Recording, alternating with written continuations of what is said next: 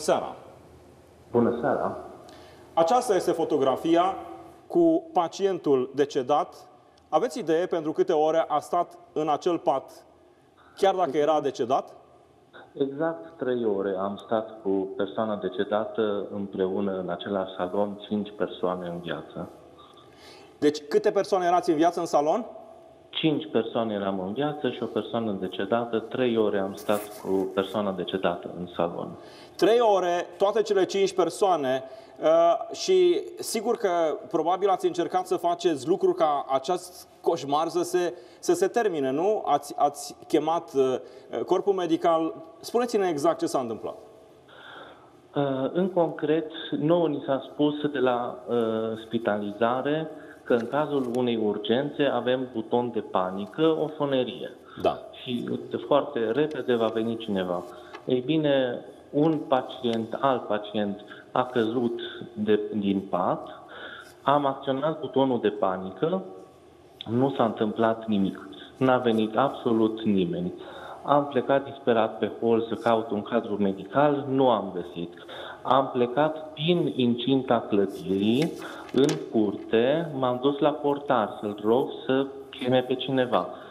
Mi-a spus că nu este problema lui la partea de COVID.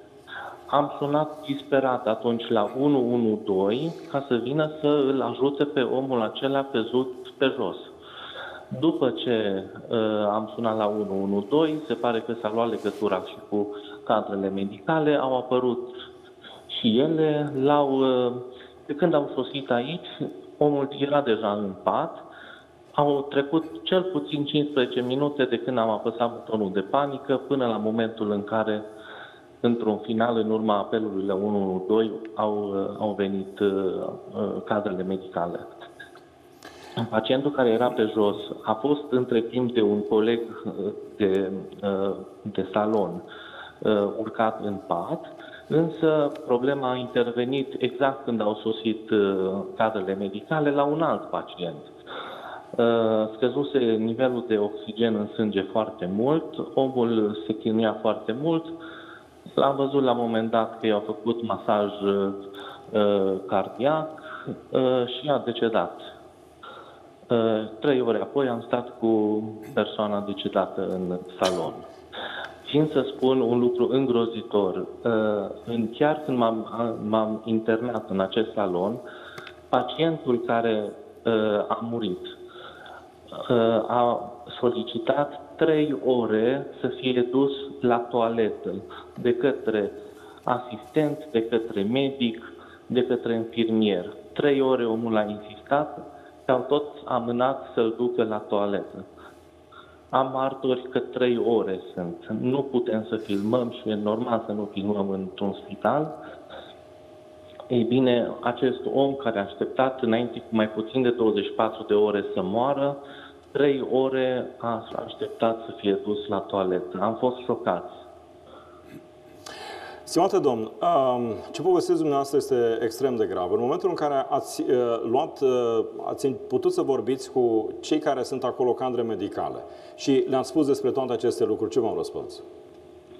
Vă dați seama că avem și noi o temere, pentru că în cazul în care spunem prea mult, ne e frică să nu cumva să avem probleme în ceea ce privește sănătatea noastră. Suntem la mâna lor până la urmă aici. Am, uh, uh, dar când am văzut omul a murit, am spus, este în risc însă și existența noastră cu asemenea uh, spital. Nu am avut hârtie igienică la, la, la toalete. Eu când m-am, m-am internat aici, M-am dus la toaletă, nu era hârtie igienică. Am rugat un asistent să ne aducă hârtie igienică. M-a dojenit că nu am venit pregătit de acasă, cum trebuie. Temperatura, uh, temperatura din spital, de fapt, din salonul în care dumneavoastră vă aflați, care este? În momentul de față este o temperatură acceptabilă. Uh, caloriferele merg. Am înțeles că înainte de a mă interna eu, cu foarte puțin timp a fost această problemă zile întregi cu frigul în acest spital. Momentan e o temperatură uh, acceptabilă, caloriferele merg.